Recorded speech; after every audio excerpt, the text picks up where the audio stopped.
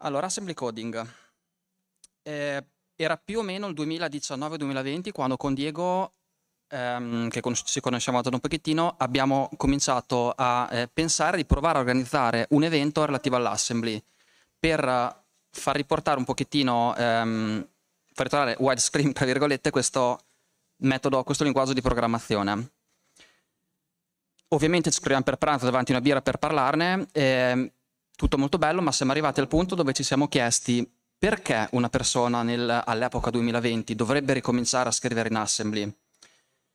È arrivato il Covid, come ci ha appena ricordato Seba, ci siamo fermati per... Uh, si è fermato tutto, quindi siamo fermati anche noi. E, um, tre anni dopo abbiamo ripreso in mano questo piccolo progettino che avevamo e è tornato, eh, ci è tornata voglia di uh, riprendere in mano la divulgazione dell'assembly. Il problema però era lo stesso, perché una persona dovrebbe scrivere nel 2024 assembly? Casualmente stavo leggendo proprio in quel periodo un libro che parlava di un uh, esperimento che è stato fatto a metà del secolo scorso, uh, Arlow Puzzle si chiama, Università del Wisconsin, um, un esperimento nel quale un, un, team di psicologi ha raccolto un gruppetto di scimmie, di piccoli primati, per cercare di capire quale era il driver che spingeva queste scimmie a fare quello che facevano. Quindi hanno preso eh, dei giochi meccanici, dei puzzle, giochi meccanici, li hanno messi vicino a queste scimmie e avevano in programma dei test per ehm, stimolare gli animali e capire se erano più, più um, interessati a giocare con questi puzzle in cambio di cibo, in cambio di giocattoli, eh, per, uh, insomma, hanno cercato di capire perché queste scimmie giocano, vogliono giocare con um, questi puzzle. Subito, appena messi insieme giocattoli e scimmie, le scimmie senza nessuno stimolo esterno hanno cominciato a giocare e risolvere i puzzle. Quindi gli psicologi sono fermati e non hanno capito più niente. Alla fine dell'esperimento ehm, hanno capito qual era il driver che li spingeva e adesso noi cercheremo di guidarvi, speriamo, in un percorso molto simile. Molto velocemente, abbiamo poco tempo, chi siamo noi? Io sono Sandro Gulli Zaccarini, ho parlato ad ESC un pochino di volte, è un piacere venire qui anche al ventesimo compleanno di ESC. E mi piace rompere le cose aggiustate e aggiustare quelle rotte, quindi mi creo lavoro da solo praticamente, eh, non dormo mai. e Diego? Io è la prima volta che vengo qui, eh, appassionato di informatica anch'io, eh, appassionato specialmente di informatica vecchia, e lo vedremo più tardi, e grazie per, per, per aversi accolto qua, al ventesimo. Grazie. Eh, due note velocissime. La prima è che il talk è molto veloce, quindi non possiamo andare nel dettaglio di tutto quanto. Non diremo in esattezza, speriamo, magari qualche piccola imprecisione, concedetela perché il tempo appunto è poco. La seconda, abbiamo qualche esempio di codice, lo sfondo del codice è chiaro ma usiamo temi scuri. Non vogliamo perdere di credibilità subito, facciamo vedere temi chiari, quindi portate pazienza. Intro velocissima ad Assembly, un minuto proprio veloce, un crash course, è un uh, intro. Assembly non è un linguaggio di programmazione, è un insieme di istruzioni. Le istruzioni sono principalmente eh, logiche, eh, permettono di sommare, di dividere, di moltiplicare, di spostare pezzi qui e là nella memoria o all'interno del processore. Le istruzioni dipendono dal tipo dell'architettura del processore che usiamo, quindi l'architettura ARM è diversa da Intel, che è diversa da tutto quello che eh, ci ruota intorno. È il metodo di scrivere programmi più vicino possibile alla macchina per noi umani, a meno che non sappiate scrivere con 0 e 1, questo è il metodo più a basso livello. Ha un piccolo problemino quello che non ha praticamente niente astrazione, quindi quello che scrivi, scrivi tutto sempre, puoi uh, usare il concetto di funzione in qualche modo, ma non sono prettamente funzioni come siamo abituati a usare in altri linguaggi. un pochino più all'interno come funziona? Ci sono dei registri che sono dei piccoli spazi dentro alla CPU, che sono grandi tanto quanto i bit che ha la CPU normalmente, e vengono usati in modo eh, o specifico o generico, alcuni sono specifici tipo accumulatore o contatore, in realtà non si è obbligati a usarli in questo modo, ma si chiamano in questo modo perché ehm, è una convenzione. Dentro al processore ci sono anche delle flag che sono delle, dei segnalatori che indicano qual è lo stato, ad esempio, dell'uscita dell'istruzione precedente oppure altre informazioni di questo tipo. I registri, col fatto che sono dentro il processore, sono super veloci, sono, sono dentro praticamente. L'altro eh, oggetto che possiamo avere come dati dentro quando lavoriamo in assembly è eh, la memoria, il codice viene caricato in memoria, il codice del programma viene caricato in memoria quando viene eseguito. Eh, una cosa che è molto utile quando si abusa dell'assembly è ehm, il, il terzo bullet a partire dal basso, e il codice non è read io posso modificare il codice, io posso eseguire il codice, posso usarlo come se fossero stringhe. Dopo vediamo un piccolo esempio. Abbiamo una porzione di data vera e propria, che normalmente non è eseguibile ma sono soltanto dati, e poi dopo abbiamo due tipi di memoria che può usare un processo, che sono stack e heap, che vengono utilizzati in modo diverso eh, in base a quello che devi fare. L'heap è quello che si fa con normalmente la malloc, anche Java, la udiamo tutti perché usa tantissimo heap, però vabbè, questo è un altro problema. Un esempio molto molto veloce di eh, assembly preso dal codice C che trovate alla vostra sinistra, in alto a sinistra. È un Hello World banalissimo, vediamo sulla parte destra in basso l'equivalente delle istruzioni che sono state scritte in C. Quindi la prima parte, le prime due righe, queste fondamentalmente non sono utili, è la parte che viene salvata dalla pseudo funzione di assembly per ricordarsi cosa c'era prima di lei, quindi per tornare dove era prima, la terza riga mov sposta la stringa hello world, in realtà è un, è un puntatore alla stringa hello world, ma fa finta facciamo niente, niente, e lo sposta dentro un registro particolare. La mov eax 0 sposta ehm, il valore 0 su un registro che viene usato dalla call alla riga successiva che chiama printf. Questo piccolo pezzettino che vedete in basso a destra in realtà è questo blocco esadecimale tradotto in istruzioni assembly. Una delle caratteristiche belle del, dell'assembly su, su, Intel è che eh, da dove parti a leggere puoi costruire istruzioni differenti. Quindi quando noi vediamo Hello World, il codice esadecimale eh, qui non abbiamo la stringa, però eh, questo codice esadecimale può essere interpretato come istruzioni diverse partendo da un punto differente del, del, um, dell'assemblato stesso. Quindi rimane abbastanza leggibile come codice, nonostante sia un pochino più um, verboso anche di C. Vanno chiamate una alla volta tutte le istruzioni. Ok, tutto molto bello, ma noi eh, abbiamo parlato di use case perché? Dobbiamo oggi scrivere assembly. Abbiamo visto che già C non è amico di tutti. Una riga di C diventano 8 di assembly, eh, potremmo avere voglia di scrivere 8 righe invece di una. In realtà abbiamo degli use case. Ora li vediamo uno alla volta, più o meno sono questi quelli che abbiamo raccolto e partiamo da quello che in questo momento secondo me è quello meno interessante, ovvero Pwned Exploit. E ehm, Pawn Binary Exploitation ha diversi nomi, cosa, cosa, significa? Significa abusare di una funzione di un programma alterando il suo comportamento e facendo sì che il programma originale esegua codice invece tuo.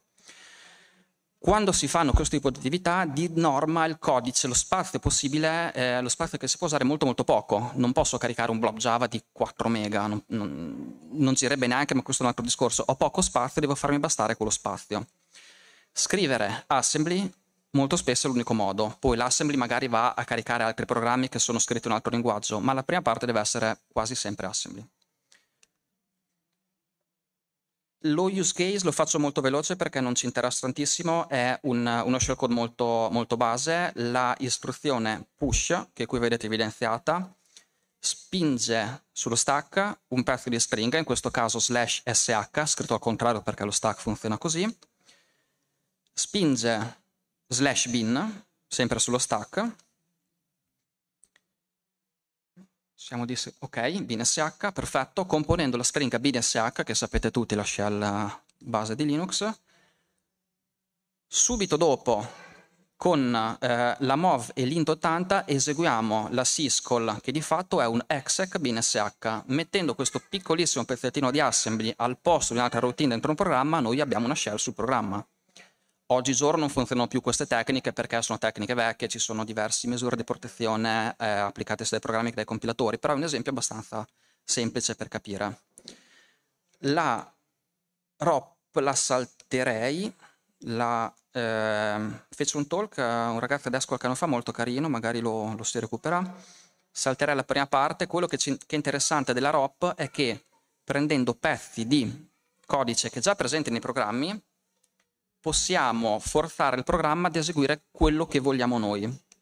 Ad esempio, questo è un pezzo di codice scritto usando eh, nella parte commentata, vedete l'istruzione che troviamo a questo indirizzo. Quindi quello che succede è che viene eseguito uno alla volta tutti i passi che vedete commentati, fino ad arrivare all'ultima syscall che fa mprotect, quindi rende RVX leggibile, scrivibile e um, leggibile, scrivibile ed eseguibile un pezzo di memoria. Questa cosa di solito viene usata per caricare uno shellcode più grosso, un binario più grosso, su un'area di memoria che di solito è soltanto scrivibile, renderla eseguibile e eseguire il codice eh, che vogliamo infilare nella, nel flusso.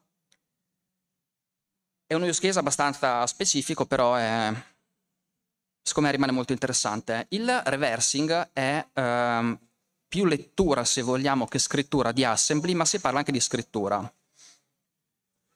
Perché? Perché noi possiamo voler andare a fare patching o fix di binari di cui non abbiamo il sorgente.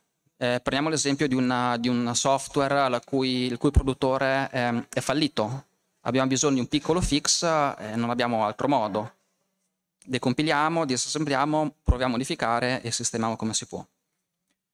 Tornando sul Blue Team, è comune, a parte fare eh, reversing di malware, anche fare reversing delle routine che usano le ransomware gang per fare cifratura di tutti i file.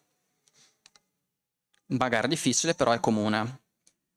E facendo reversing si trovano spesso, molto spesso, funzioni e feature non documentate o documentate molto male. Ovviamente decompilare è eh, un use case che vedremo alla fine, è simile al patching fixing, ma abbiamo una, un caso molto molto divertente. Allora, parlavamo di uh, sistemare prodotti la cui software house ha chiuso. Um, è ovvio che dovremmo tutti usare prodotti supportati da qualcosa o da qualcuno, però capitano esempi in cui non possiamo cambiare eh, prodotto per motivi particolari. In questo caso, se abbiamo bisogno di una piccola patch, possiamo, soprattutto quando il codice sorgente non è eh, disponibile, prendere, decompilare, sistemare e sperare di non aver rotto più cose, quello lo scopriamo dopo. Se siamo capaci di leggere, di scrivere l'assembly, di capire il flusso del, del programma, possiamo, potremmo alterare il comportamento anche in modo permanente. E cito un, un vecchio detto che è se sai fare reverse engineering, di fatto eh, tutto open source, magari un pochino poco amichevole, però è open source. Abbiamo portato un esempio super banale di una licenza come si faceva negli anni 90 e eh, ve lo racconto molto velocemente. La prima parte praticamente carica una stringa, legge un carattere alla volta, se, se e compara due caratteri, se due caratteri sono uguali prosegue nel controllo, se i caratteri sono differenti esce e dice licenza invalida prendendo questa strada. Leggendo questo codice noi potremmo semplicemente invertire il check o fare direttamente un salto a quel punto e dire al primo carattere per me è tutto bello, passa pure avanti tranquillo.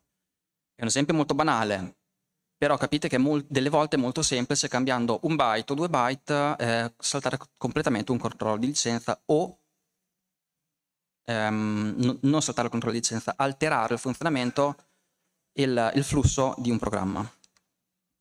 Relativamente al eh, ransomware, l'anno scorso e quest'anno sono state pubblicate due ricerche molto molto interessanti da Avast e da ehm, SR Labs, due laboratori piuttosto capaci, eh, che hanno abusato di due bug nei cryptor di eh, Akira e Blackbasta, in, questo, in questi due casi, ehm, per scrivere il decifratore senza ovviamente che nessuno dovesse pagare il, il riscatto. Il problema qual era? Era che usavano male la, la chiave di cifratura, salvavano un pezzo di chiave e alla fine del file, quindi era possibile dedurre la chiave completa di cifratura ehm, avendo il file cifrato.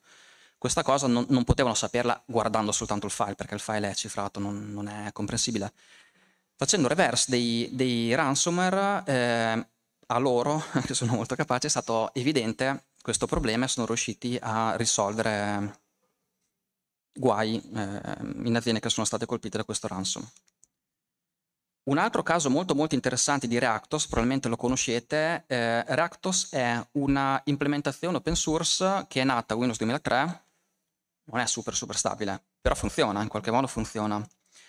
E come è stata fatta? C'è un tipo di persone che disassembla DLL, prende le DLL del kernel di Microsoft e le spacchetta e documenta quello che ha visto. Un altro team prende i documenti e scrive il CPP in questo caso ehm, relativo a quello che è stato documentato appunto. Potendo decompilare, certo è un lavoro, eh, ci si perde diversa dioctria a fare questo tipo di lavoro, però è un lavoro molto molto interessante perché primo capisci esattamente come funziona quella parte di Windows, quel pezzo di sistema. Poi hai modo di riprodurla in modo open, in questo caso totalmente legale perché non c'è stato un disassembly diretto, ma eh, si è passati per la documentazione. Eh, ok, non è super super stabile come dicevo, però è un bellissimo esempio di ehm, capacità di reverse, analisi, ma anche voglia di fare qualcosa, perché mettersi a fare reversing di Windows non... ci vuole della voglia.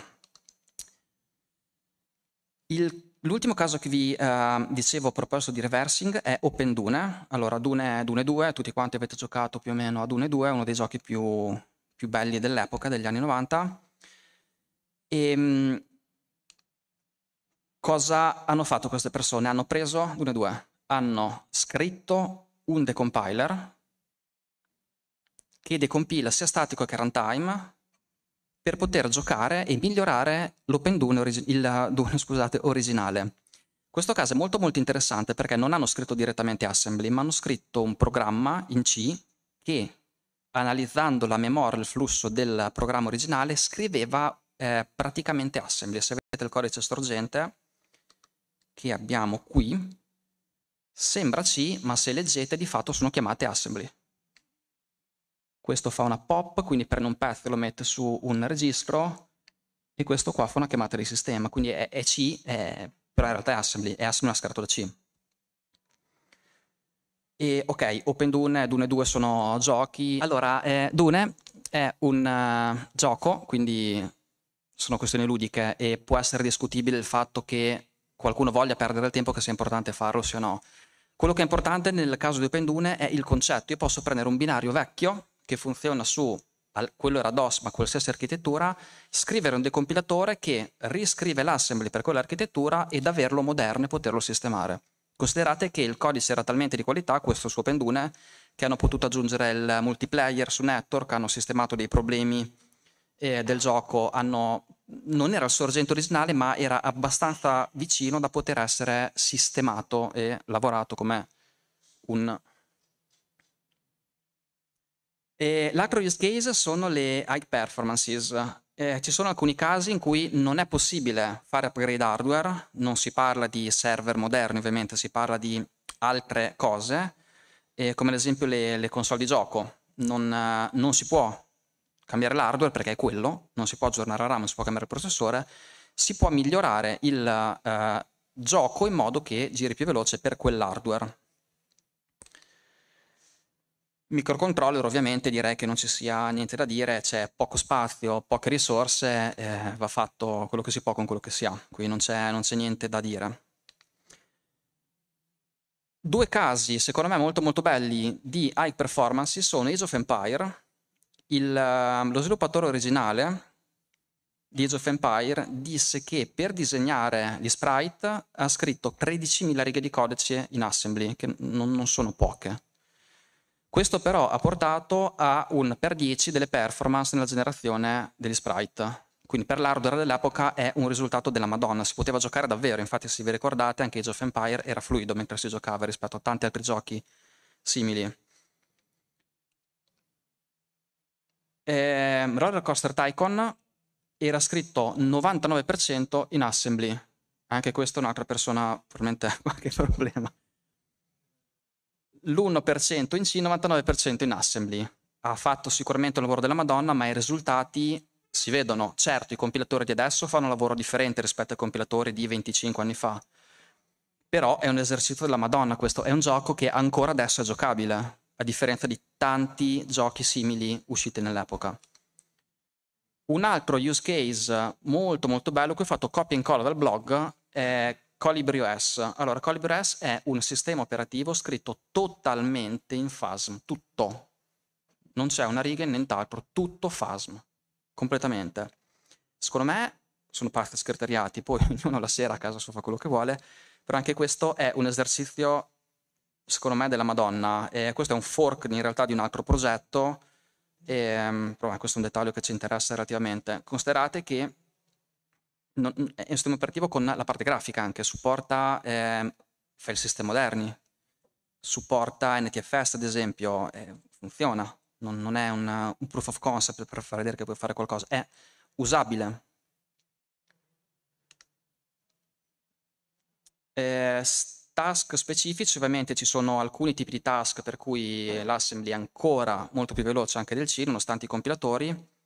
Abbiamo portato un esempio vi faccio l'highlight subito delle, delle, righe interessanti. Queste parti indicate per le due righe rosse sono state riscritte in assembly e l'assembly per un'operazione così banale, sono alla fine una, una moltiplicazione se ricordo bene, era? No, un riempimento di un buffer con un pattern. Riempimento di buffer, giusto, non stavo leggendo. E la routine in assembly è 32% più veloce, quindi ci mette 15 secondi in meno rispetto ai 46 originali. È un caso specifico, ma è nettamente più veloce. Chiaro, se abbiamo 8 core che non fanno niente non ci interessa, ma se abbiamo un microcontroller questa cosa qua ci, ci può salvare la giornata. Su un compilato o due, giusto per essere precisi. Quindi su un compilato ottimizzato. Grazie. E task specifici abbiamo anche ad esempio il, il salto da, um, sul, su, da real mode a protected mode sulle architetture moderne, quindi quello che ci permette di usare tutta la RAM che abbiamo banalmente e questo non, dove, non, deve più scriverlo nessuno perché è già stato scritto nei sistemi operativi, però un piccolo pezzo di assembly che ci consente di usare tutta la RAM. Gli emulatori sono un altro caso molto molto interessante per scrivere assembly. E qui abbiamo citato l'esempio di un emulatore per Nintendo DS completamente in assembly. Emulatore che ovviamente è in grado di eseguire i giochi nativi per eh, Nintendo DS, altrimenti non avrebbe senso emulare. Ok, lascerei. Fatemi a 20. Sì. Allora, abbiamo visto eh, un po' di use case. Eh, l'idea adesso eh, di farvi vedere un po' di uso creativo dell'assembly. Se ricordate le immagini che vi ho fatto vedere prima eh, Guli, eh, le scimmiette hanno iniziato a giocare con quello che avevano davanti. Eh, l'idea è farvi vedere cosa vuol dire, eh, cosa si può fare appunto con l'assembly eh, direttamente con del codice e, ehm, e, farvi vedere che le regole che possono avervi insegnato chiaramente sulla programmazione strutturata sostanzialmente saltano perché c'è molta più libertà, si può fare un po' quello che si vuole. Uh, allora, prima di, okay. prima di, di partire con le demo, eh, vi faccio un attimo vedere qual è la, la piattaforma sulla quale stiamo facendo, eh, faccio, stiamo facendo girare. Uh, immagino che molti di voi lo conoscono, ho visto un po' di magliette girare oggi, quindi... e poi ci sono un po' di capelli brizzolati come i miei, quindi c'è gente che lo conosce. La macchina è il Commodore 64, è una macchina con 65.000 byte di RAM, poco più. Ehm, è una macchina che ha 16 colori eh, nel, nel, video, una CPU che va a un po' meno di un MHz, eh, ha un integrato audio di cui non parleremo comunque oggi, e, ehm, ed è a 8 bit, eh, che significa che è in grado di gestire delle parole, ogni volta che, che si agisce su un dato, il dato è a 8 bit. Per poter capire meglio alcuni, alcuni passi del, del, codice che vedremo, ho bisogno che capiate un po' eh, il fatto che la durata di alcune istruzioni, de, de, la durata in generale delle istruzioni è differente. E cosa significa? Significa che il, la CPU del 64, che è un 6502, gira a un MHz, però eh, le istruzioni richiedono, richiedono più eh, cicli per essere eseguite. Uh, in, in, particolare il, il, numero minimo di cicli per eseguire un'istruzione è 2, eh, con, con, il quale posso ad esempio caricare un valore nell'accumulatore, poi vedremo cos'è l'accumulatore, eh, oppure posso ehm, aggiungere un valore all'accumulatore, all'accumulatore, posso cambiare il valore di un flag, i flag quelli di cui aveva parlato Guli prima. Um, tre cicli servono per caricare un dato dalla memoria da certe zone di memoria, 4 per caricarlo da altre zone di memoria e così via, 5, 6, 7. Il massimo numero di cicli che può essere eh, chiesto dalla macchina eh, per eseguire un'istruzione è 8. In realtà poi c'è anche la generazione di interruzioni che può richiederne 9, ma eh, non, non, la vedremo oggi. Uh, vi faccio presente una cosa. Ehm, il numero di istruzioni che ha il 64 ufficiali è più o meno 150, grosso modo. In realtà il numero va esteso perché il 6502 che è l'integrato di cui stiamo parlando è un integrato molto semplice e, ehm, e, quindi in sostanza anche le combinazioni numeriche che in teoria non dovevano dar luogo a nessuna istruzione in realtà sono utilizzabili e hanno un comportamento che negli anni è stato studiato e è stato visto che è deterministico e quindi si è riusciti a utilizzarle eh, per fare delle cose in più in sostanza, anche se eh, diciamo che da, da, fabbrica non erano documentate in sostanza, infatti si chiamano eh, non ufficiali, illegali, undocumented, come, come si vuole. E, in particolare una di quelle che richiedono otto cicli, in effetti, è un'istruzione non, non documentata. Ah, alcuni dettagli, sul Okay. Sul, sullo schermo sono necessari, altrimenti non si, il, non si capiscono le demo. Uh, la sostanza è che a governare il clock del 64 in realtà è il video, è una cosa un po' strana. Il video gira a 8 MHz, ha un, quello che si chiama un dot, un dot, il dot clock, cioè il, il, clock con cui genera ogni pixel è a 8 MHz viene diviso per 8 e, e da questo si ottiene il megahertz che fa girare la CPU. Uh, ah, questo ha un... Uh, cioè, questa cosa eh, eh, risulta nel fatto che la, la, CPU di fatto è sincronizzata in qualche maniera con il video, nel senso che eh, ogni 8 pixel di fatto ho la generazione di un clock della macchina, ok?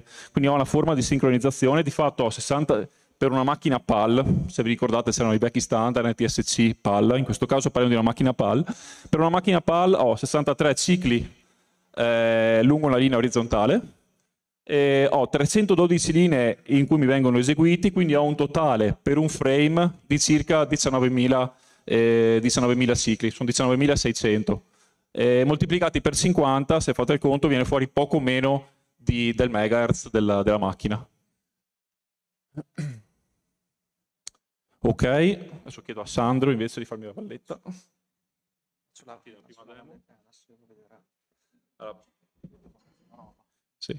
Intanto uh, vi, vi, vi, do qualche informazione sulla demo. Quello che vedremo adesso è um, un'animazione, uno scroller sostanzialmente, nel quale non sto utilizzando il frame buffer del, del computer, cioè non sto scrivendo nel, nello schermo, ok? Ma sto cambiando in maniera sincrona il colore dello sfondo, ok? Quindi quello che vedete lì uh, in gergo, per chi programma il Commodore 64, si chiama raster split. Uh, sono dei, dei, cambi di colore perfettamente in sincrono con il cannone video. Uh, che permettono di creare un'immagine e tra l'altro ad esempio permettono chiaramente di superare il limite dei bordi, avevate visto che prima c'era un bordo, normalmente il bordo non è una zona in cui si possa disegnare, però chiaramente se sto cambiando solamente il colore posso cambiarlo in qualsiasi punto. E quindi quello che deve passare in questo preciso demo è il fatto che per fare questo tipo di animazione bisogna che il codice sia perfettamente sincronizzato con il video, altrimenti l'immagine balla, c'ha jittering chiaramente.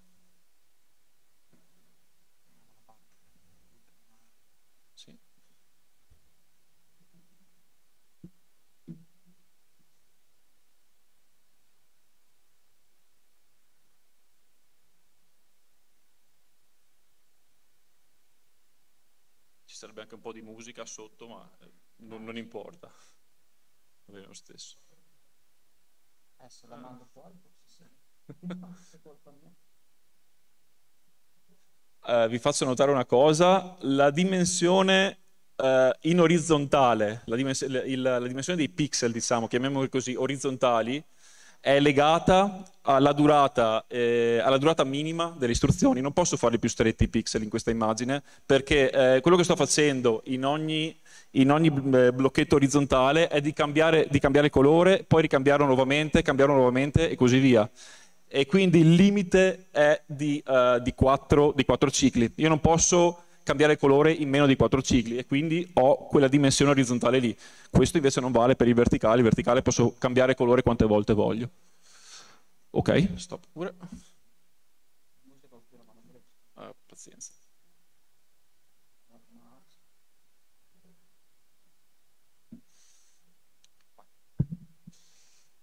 Allora, vediamo un po', un po di pezzi, un, un po' di pezzi uh, del codice per capire cosa sta, cosa sta, succedendo e che tipo di uso si fa del, dell'assemblativo per ottenere quello che vogliamo. Allora, come vi ho detto, eh, per riuscire a ottenere quel, quell'effetto lì, ho bisogno che il codice sia perfettamente in sincrono con, ehm, con lo schermo, altrimenti, altrimenti balla tutto. L'immagine si muove chiaramente, ma non ha una stabilità, che è quello che invece voglio ottenere.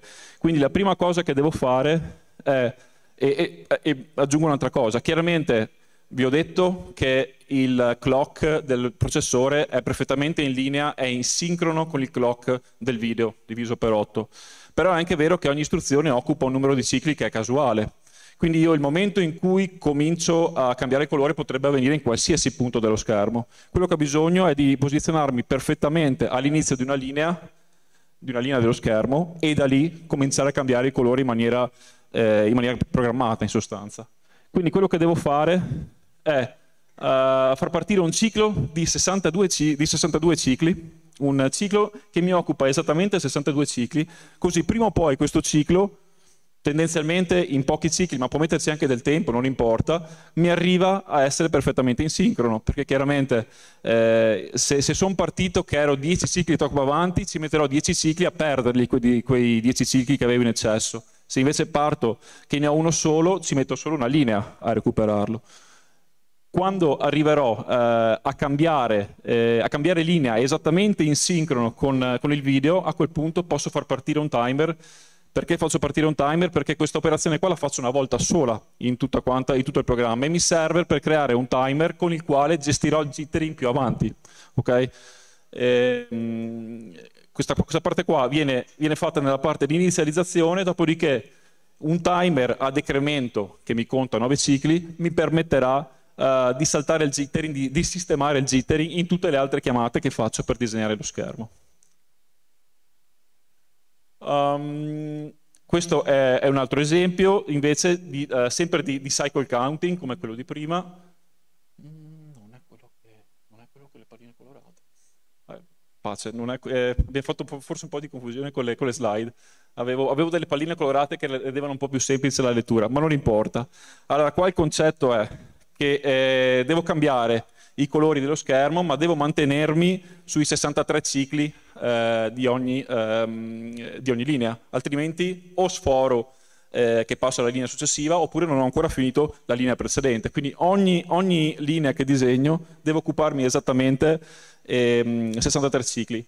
Quindi il giochino che si fa eh, in gergo viene chiamato cycle counting, cioè mi metto a contare tutti i cicli a prescindere dal, dal giro eh, dovuto ai salti condizionali. Quindi se fate il conto, adesso purtroppo, ripeto, c'erano dei pallini a rappresentarla questa cosa qua. Comunque il concetto è che se io parto da qua, da qua sopra, che è all'inizio del loop, e faccio il giro eh, che mi utilizza per esempio tutti, i, mh, mm, tutti quanti i salti condizionati, che so, i, sì, i salti condizionati che sono questi qui, i BNE, i BCC, tutte le istruzioni che iniziano con la B come queste qua sono salti condizionati, quindi sono punti in cui il codice può andare in un punto oppure in un altro, oppure continuare sotto.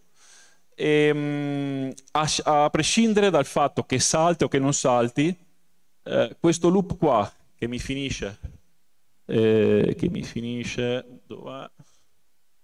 Oddio, loop che mi finisce qua sotto, esatto, mi occupa comunque 63 cicli, ok? In questa maniera sono sicuro che sto sempre dentro a, ai 63 cicli delle linee. Questa cosa qua la vediamo meglio tra un attimo quando, ved quando vediamo il loop interno. Ok, questo. Allora, questo qui è un esempio eh, che, che, ha diverse cose dentro. Allora, eh, intanto qua è molto più semplice capire il concetto che spiegavo un attimo fa. Questo qui è, il, è il, la parte più interna del, dell'effetto ed è quello che disegna i raster split. Di 020 chiaramente avrete immaginato è la porta, la porta di I.O. che mi comanda il colore eh, di sfondo. Okay? Quindi quello che sto facendo qua scusate, è, è cambiare colore.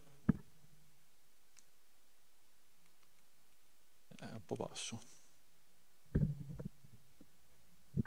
Ok. Ok.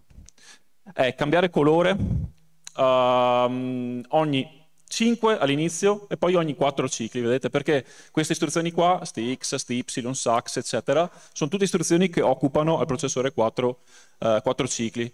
Um, cosa viene fatto di fatto all'interno del programma? Io questa routine qua non ce l'ho prefabbricata, me la creo ad ogni frame. Ad ogni frame io vado a cambiare l'istruzione con la quale salvo in D020 e a seconda che sia una sta, una stx, una sty oppure una sax, cambio il colore di quel pixel. Quindi ho di fatto quattro colori e io sto cambiando colore cambiando il codice. Vi ricordate quando prima abbiamo detto che il codice può essere anche modificato al volo? Questo è un caso d'uso. Sto cambiando il colore dei pixel, non cambiando le variabili che assegno, ma cambiando l'istruzione. Il valore è presalvato in ciascun registro e perché faccio così? Perché altrimenti dovrei cambiare ogni volta il valore eh, di questi registri e chiaramente mi porterebbe via il tempo. Non, avrei, non, riuscirei a fare dei pixel così piccoli. Avrei dei pixel da 6, da 6, da 6 cicli uh, o, o, da 8, o, insomma, comunque li avrei più grossi. Eh, altra cosa, Sandro prima vi ha parlato della ROP. Questo qua è un esempio anche di ROP, perché per eh, il disegno di ogni linea uh, alla fine ha una RTS. RTS significa return to subroutine, vuol dire torna indietro. È, il, è, la return classica, quindi vuol dire che quando ho finito una linea, io vado nello stack della macchina, pesco l'indirizzo, il prossimo indirizzo che c'è nello stack e salto a quell'indirizzo lì. Quindi significa che disegno in orizzontale, come abbiamo detto, cambiando eh, le istruzioni che ho in queste, in queste, linee qua e disegno in verticale, cioè scelgo quale linea mettere in base agli indirizzi che vado a mettere nello stack. Quindi io compongo l'immagine in parte agendo su del codice, in parte agendo sugli indirizzi di ritorno che metto nello stack. È un uso totalmente creativo, capite? È una cosa di, di norma non si va a mettere le mani nello stack, non si fanno di queste cose qua. In C chiaramente non, non, non lo farai mai. Ah, ultimissima cosa, anche qui ho un utilizzo di uh, un'istruzione che è non documentata. In questo caso è SAX. SAX, per curiosità, eh, prende il valore del registro A e il valore del registro X, fa una AND logica tra i due valori e li salva nell'indirizzo indicato, indicato lì. E quindi chiaramente giocando sul fatto che fa una AND, se metto un valore in X, metto un altro valore in A, ho due valori diversi, quando faccio una AND ho un terzo valore che chiaramente è dipendente da quei due lì, però comunque mi riesce a creare un colore differente nello schermo. A questo punto vediamo un'altra demo, in questo caso quello che vogliamo evidenziare invece è il size coding, quindi il codice piccolo, okay? in questo caso è una implementazione di Arcanoid molto piccola, fatta con i caratteri classici del 64, il PET-C, ehm, che è grande 506 byte.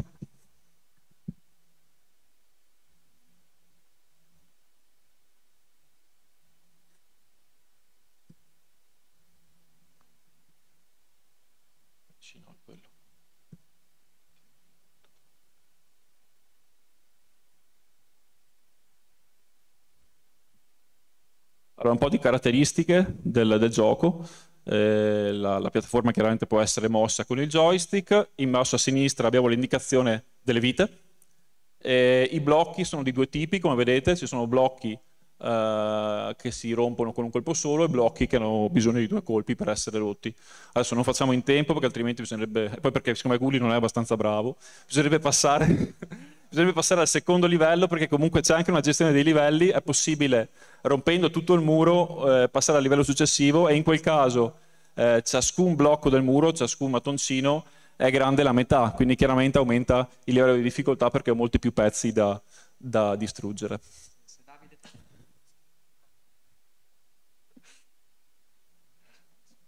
passiamo avanti. 506, sì.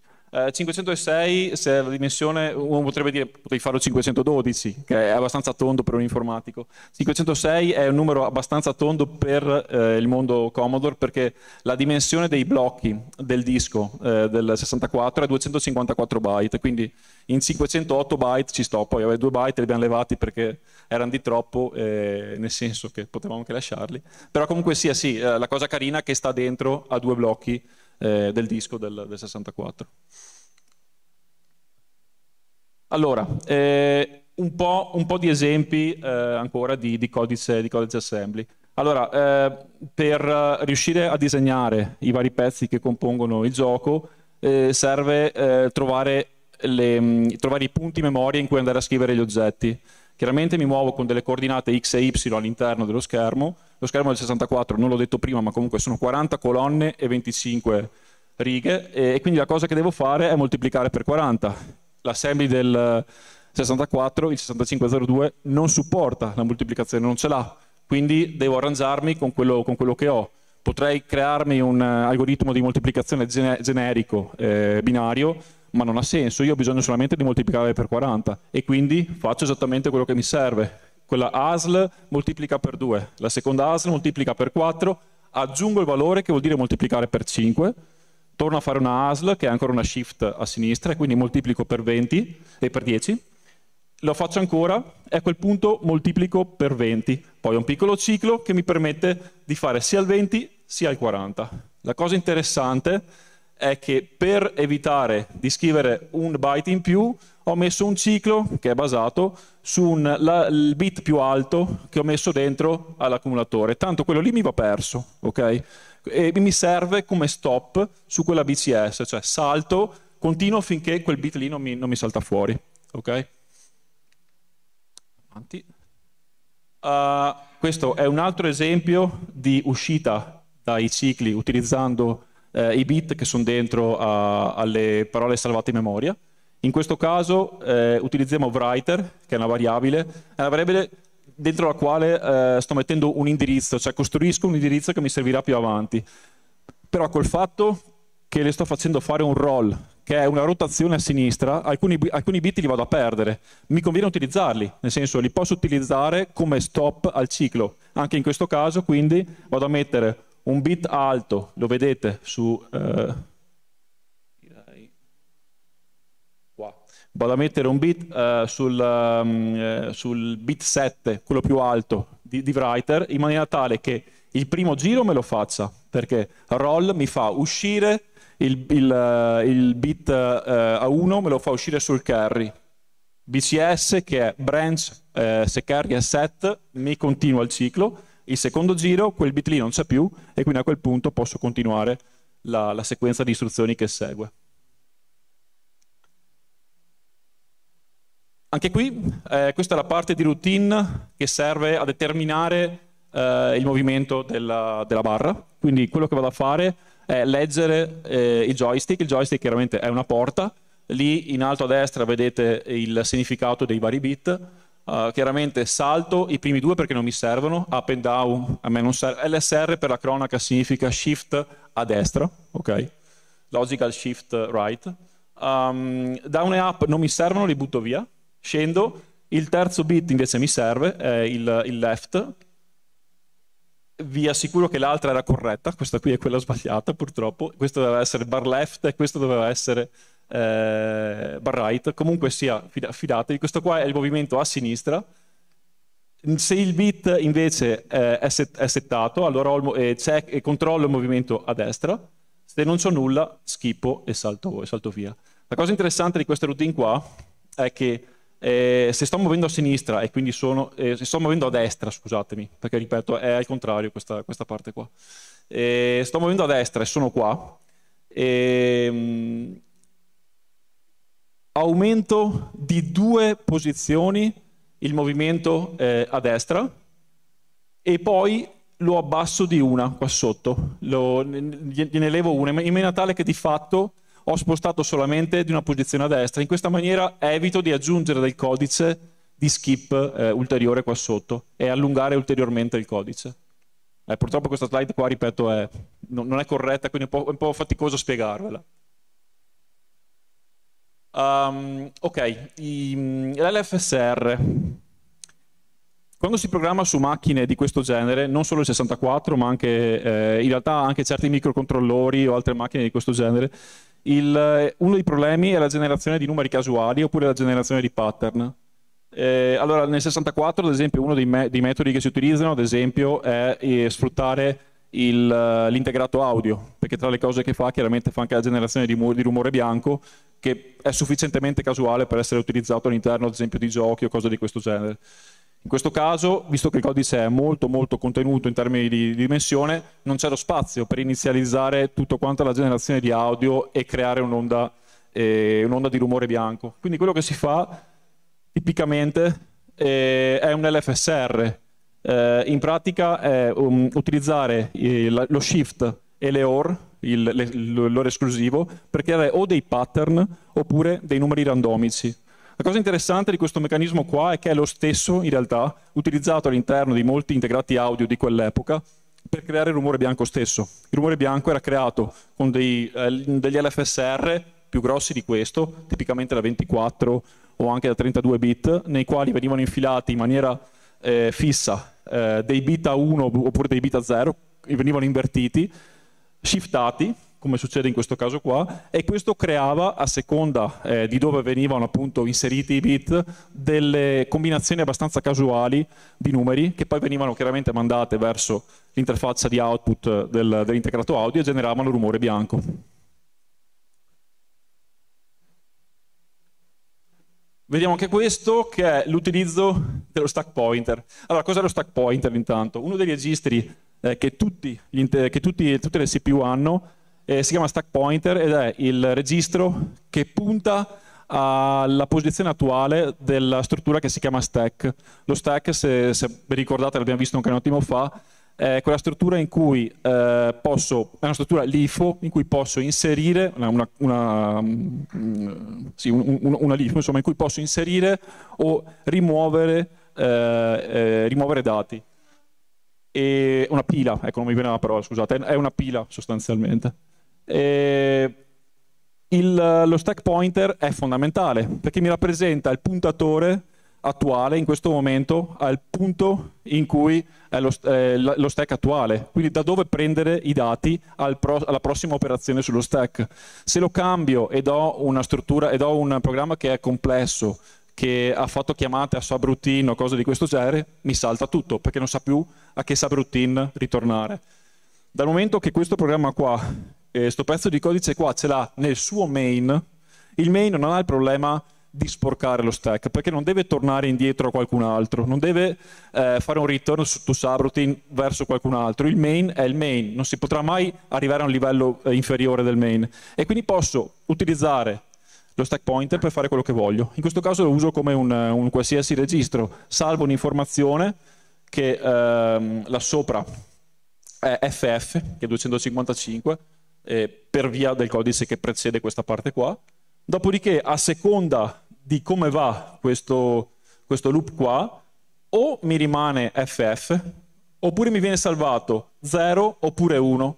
Quando poi arrivo qua sotto, ritrasferisco il valore dello stack pointer in X e guardo, BPL, guardo se il bit di segno, che è l'ultimo bit del, um, eh, di qualsiasi variabile che inserisco è a 1 o è a 0. BPL mi dice salta se il bit di segno è a 0. Quindi in questa maniera, utilizzando, abusando diciamo, dello stack pointer, mi sono portato via una, una condizione qua sotto, eh, cioè mi sono portato via un'informazione che mi serve eh, per determinare la condizione qua sotto. E questo, e questo è quanto, insomma.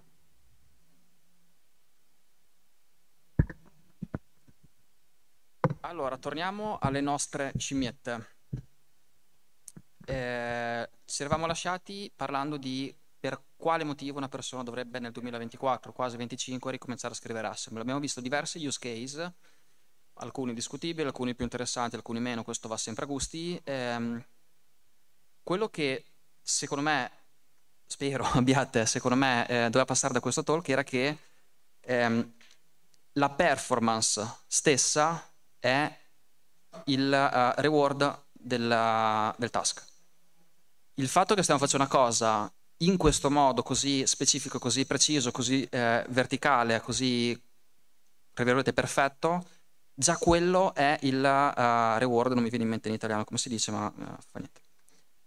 Ricompensa. La ricompensa, grazie. Questo è stato il uh, risultato a cui sono arrivati gli psicologi che vi ho accennato inizio talk 70 anni fa grosso modo. Non hanno dovuto insegnare niente alle scimmie perché le scimmie si divertivano a giocare non avevano altro da fare, giocavano, si divertivano. Questa è stata la, la, chiusura del, dell'esperimento. E go, ogni talk deve finire con qualcosa che speriamo vi portiate a casa. Eh, se pensate che qualcosa sia un po' folle, probabilmente qualcuno l'ha già fatto e come nel caso di, ehm, del sistema operativo completamente in assembly, qualcuno molto probabilmente lo forcherà per fare una sua versione diversa migliore, peggiore, ma diversa.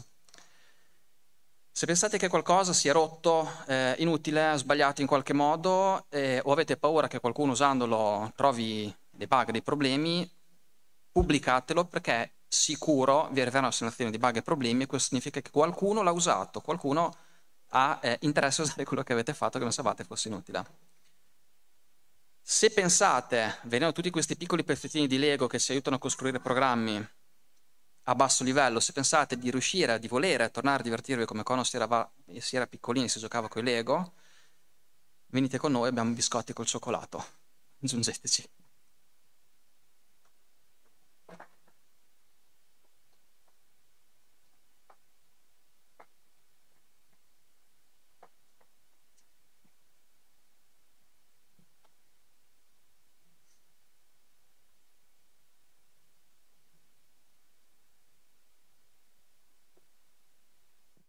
Ah, eccoci qua. Domande? Qualcuno ha qualche domanda su questo talk? No, quindi un applauso a Diego e Sandro Guli. Grazie, grazie mille. Grazie mille.